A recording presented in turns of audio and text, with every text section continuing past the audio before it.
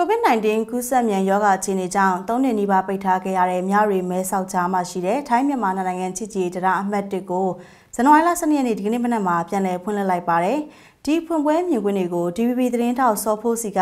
အမှတ်၁တရားကနေပြီးတော့သတင်းပေးပို့ထားပါတယ်ရှင်။အခုကျွန်တော်ရောက်ရှိနေရတော့မြန်မာထိုင်းချစ်ကြီးရဲ့ဒီမြောက်ဝတီမဲ့ဆောက်ကိုလေဒီချစ်ကြီးတဲ့အမှတ်1မှာဆိုရင်ဒီကနေ့ဟို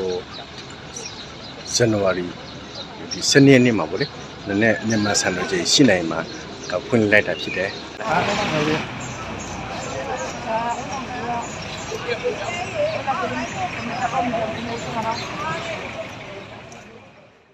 ဟုတ်ကဲ့ဒီဖွင့်လိုက်လိုက်တဲ့အချိန်မှာ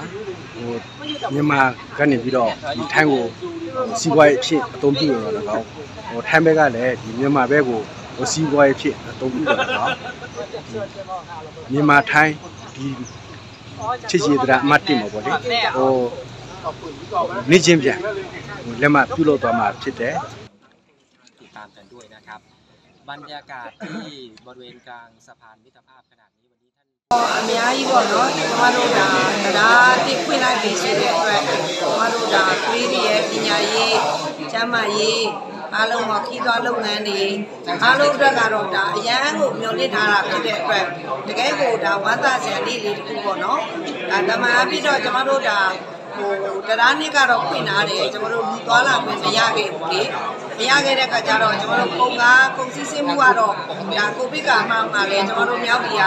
ကပိတ်ထားတာမရှိဘူးเนาะ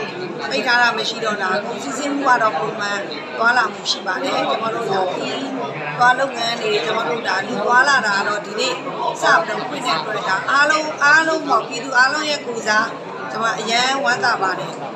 တော်တို့ဒီ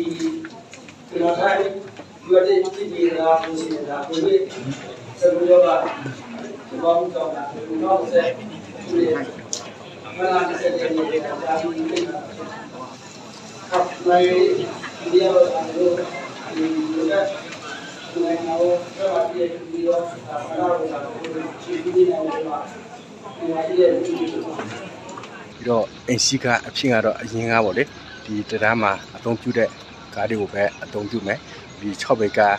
ဟို6ဘိတ်ကအပါပေါ့လေ6ဘိတ်ကအပါ၄ဘိတ်အထက်ဆိုရင်တော့ဒီတရားမှာဟိုကုန်တင်ကုန်ချပြီးတော့ကုန်ဝတ်ဆောင်တာခွင့်မပြုသေးဘူးပေါ့လေဟုတ်ကဲ့ဒီကနေ့ကစပြီးတော့ဟိုတရားခွင့်လိုက်ပြီဖြစ်တယ်ဟုတ်ကဲ့ဒီတရားပိတ်တာကတော့ဒီဟို3နှစ်နီးပါးပေါ့လေဟို3နှစ်ပြည့်တော့မဲ့ရက်အလုံးမှာဒရာပြန်ဖွင့်လိုက်တဲ့အတွက်ထိုင်းကနေပြီးတော့ ဒီဟိုဈေးသည်တွေပေါ့လေထိုင်းဈေးသည်တွေမဲ့ဆောက်ဒီပြောတဲ့ဈေးသည်တွေကတော့ဒီတရားကိုဟိုစာဝင်ထွက်တဲ့မြန်မာပြည်သားတွေကိုဟိုဈေးရောင်းတဲ့ဈေးရောင်းရတဲ့အတွက်ပေါ့လေဟိုဟိုအကျိုးရှိတဲ့သဘောလို့ဟိုဆိုကြတာဖြစ်ပါတယ်ခင်ဗျ ดีใจจ้ะ ဒီကြ นักท่อง နေ့ เที่ยวจะได้มา ตลาดบ้านเฮาไปได้ ဟုတ်ကဲ့ကျွန်တော်စောဖို့စီပါမြန်မာထိုင်းနယ်စပ်မြို့ဒီမဲ့ဆောက်တရားတိမတရင်ပြပို့သွားတာဖြစ်ပါတယ်ခင်ဗျ